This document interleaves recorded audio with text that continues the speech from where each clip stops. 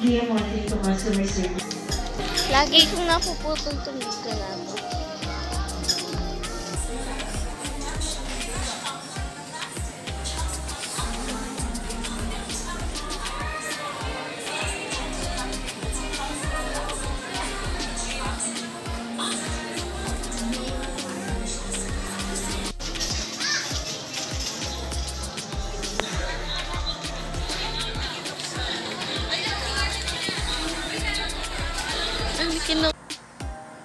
Hi guys! Welcome back to our channel. For today's video, um, mag-haul kami ng mga pinamili namin sa Watsons. Kasi challenge namin yung mga sarili namin na so worth 1,000 pesos kung gaano kadaming products yung mabibili namin sa Watson.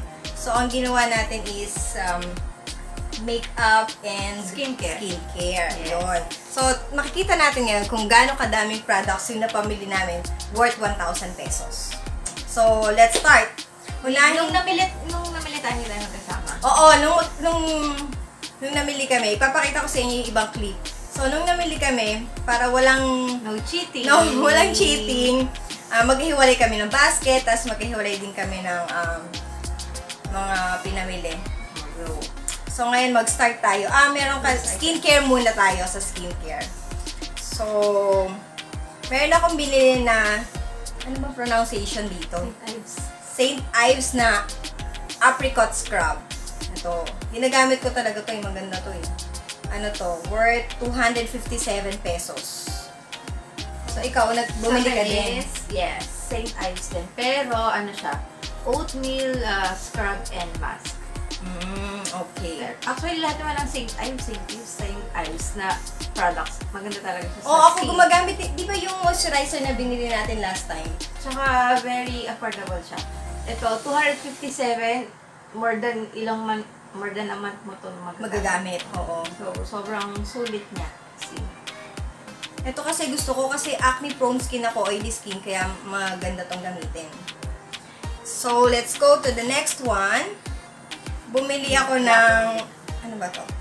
Moisturizing, Whitening Smooth and Baby Milk Spa. Ito, bumili ako ng ganito. Ang price nito is 85 pesos. Wala akong ganyan. Wala siyang ganon. Kasi wala na akong time mag-ganyan. Actually, ano nga eh, parang di nga ako masyado nakapamili ng ayos kasi buhat-buhat ko si Aiden noon. So, ano pang skincare mo? Wala na. Wala na. Ah, meron akong binili ito, yung acne care lotion. So, may, pag may mga pimple ka, i-dadab mo lang siya o spot mo lang siya. Tapos, nadadry, nad, ay, madadry na rin siya. Yun. One minute solution. Ito. Ito pa yun. Facial wash. Eto, bumili din pala ako. Ano ba tawag sa mga ganito? Yung mga naka-pouch lang siya o naka-sachet lang.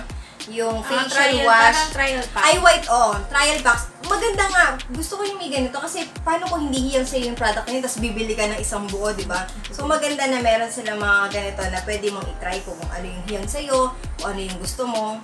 Ayan. Eto, eye white siya. Tapos, eye white uli na whitening pack. Eto, peel off mask. 22 pesos din yata to. Tapos, meron din akong 2-minute whitening miracle. Parang puro whitening pala yung mga inano ko, no? Ano naman siya? Special wash of mask. Eye white din siya. Eye white Ako, Korean. ano, ako moisturizer. Ah, Olay. Gusto ko dito, ano siya, meron siyang, ano, screw cap ba tawag Mm, dito? mm, mm. Kasi yung iba, pag nakasachet, Kasi ito, oh, wala. Tatapon siya, ganun. Tsaka magda-dry. So, ito, very convenient. Tsaka, pag magta-travel ka, Oo yung- ano?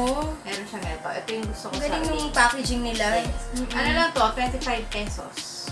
Ito yung smallest size. Meron yung malalaki, pero ito yung smallest. Mm-mm. Pang travel talaga. Yun.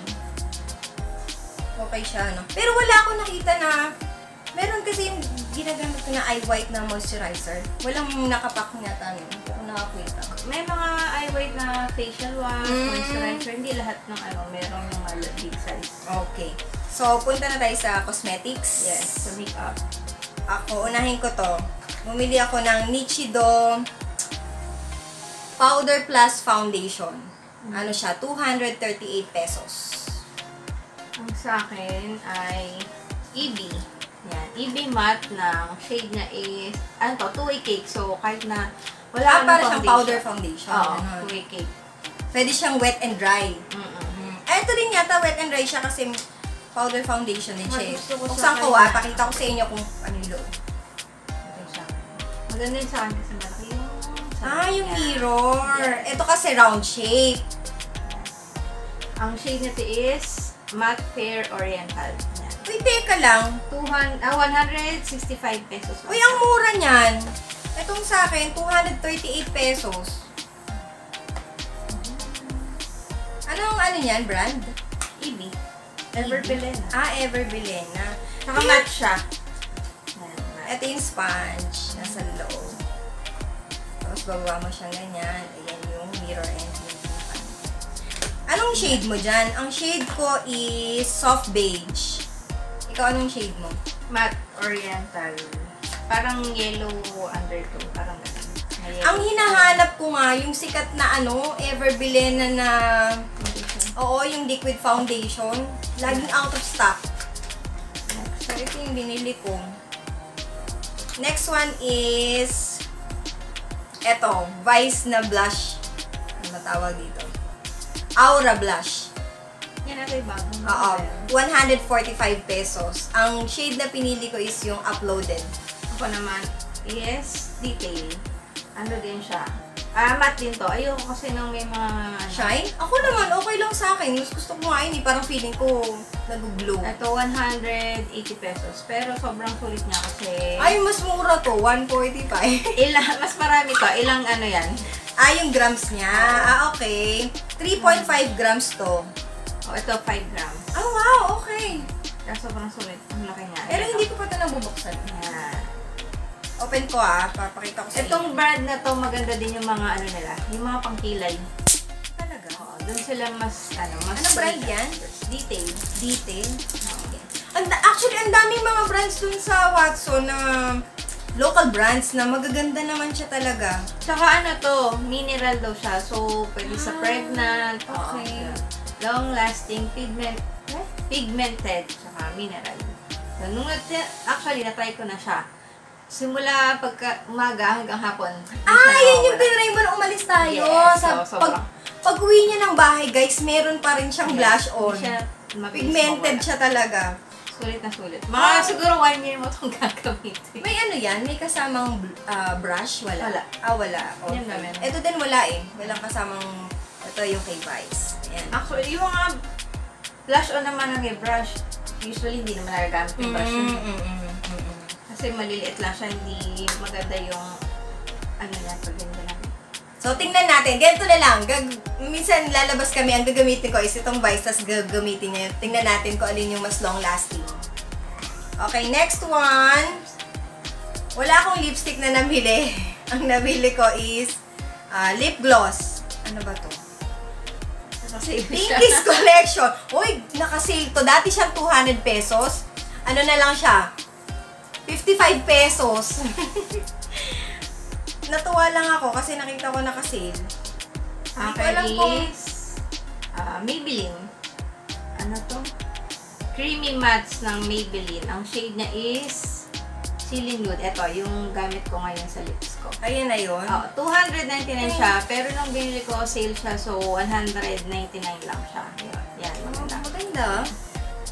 Hmm, talaga naman. Naiinis nga ako kasi nung time na naggawa kami ng challenge na to, hawak-hawak ko si Aiden tapos umiyak siya dahil inaantok na siya. So, yung mga inilista ko na bibiling ko, hindi ko nabili. Oh, yan, swatch ko siya. Matte yung ano niya, finish niya. Ayan, guys. Parang orangey red yung color niya. Yan. Pero natutuwa ako sa challenge na to kasi talagang kung saan yung makakatipid doon ka. Pero, syempre, dapat hindi mo sasuffer yung quality. Dapat, ano din, maganda din yung quality. Dapat, maayos din. Hindi basta mura, go na. Oh, next Tsaka, gagamitin din namin. Wala na ako. Ang next ko is, syempre, Kilay Slime. Kilay slime. Nichido. Yan. Ni Siyempre, alam naman natin, Nichido is sa pinakakilalang brand pag sa mga kilay. So, yan. Ito, parang ano lang to, 60 pesos. Meron na siyang kasamang parang Fully. fully. Oo, pero parang- hindi siya ganun gano, pero okay na. Tapos, ayan siya. Ayan. Medyo ano yung ano na to, parang creamy siya.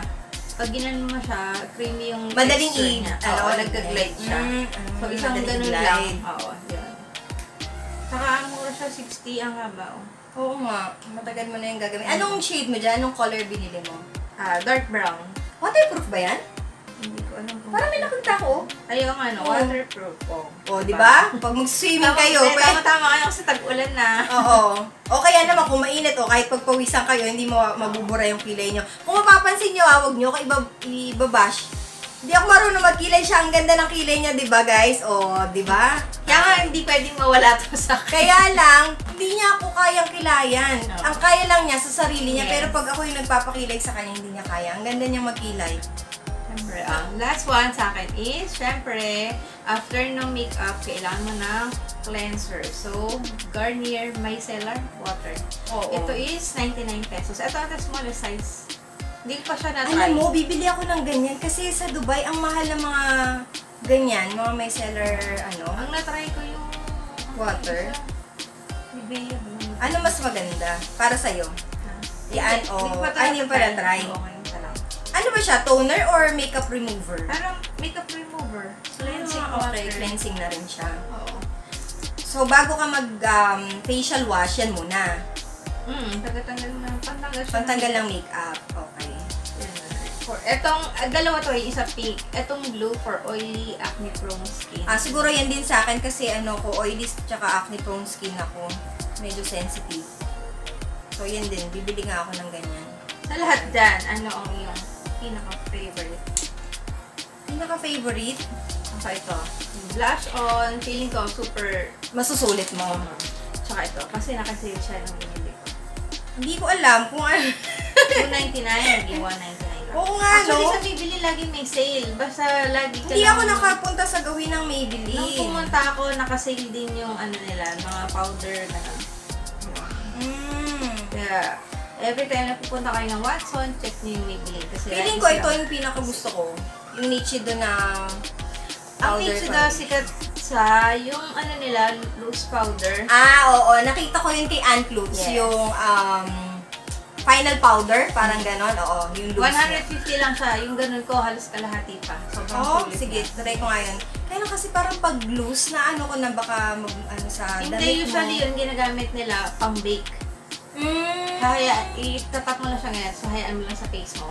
Tapos, idadust mo Ah, after. binibake. Pang ano Ah, siya, okay. advisable for oily skin. Ah, parang feeling ko kailangan ko yun kasi mainit ngayon sa Dubai. So, ang tendency Ayun. nag-oil up ka. So, yun. Feeling ko kailangan ko nang bibili ako. ng Ah, 145 lang ba or 200? 150. Ah, okay. Ewan ko ngayon na, pero last time nabili ko 150 lang. Pero wala pa yung brush. Gusto ko nga bumili ng Antlutz na brush eh, kaso lang, laging out of stock. Gusto namin i-review, i-review sana namin yun. Gusto ko, Anakay Sponge. Oh, yun, tsaka yung Anakay, gusto rin niya. Um, try namin na makahabol kasi by next week magpa-flight na ako. So, kung makaka-order kami, itatry namin yun yung kay Anakay na, ano bang tawag doon? Sponge? Oo. Oo, yung pang foundation, di ba? Yun. So, itatry namin. So, ako, ito yung favorite ko. Ikaw yung blush on. Mhm. Yung feeling mo na sulit talaga. Yes. So, ilang items yung nabamili mo? Ako, ilang items yun? Sobrang sulit kasi. 1, 2, 3, 4, 5, 6, 7. 5, 6, 7, 8, 9. 9 items yung sa akin. Feeling ko ako winner sa challenge na. Oo, feeling ko din. Kasi meron feeling ako, ko siya. Kasi ang dami, Okay. kompleto siya eh. may moisturizer Mm. bago ka mag-makeup. And then may, May makeup siya.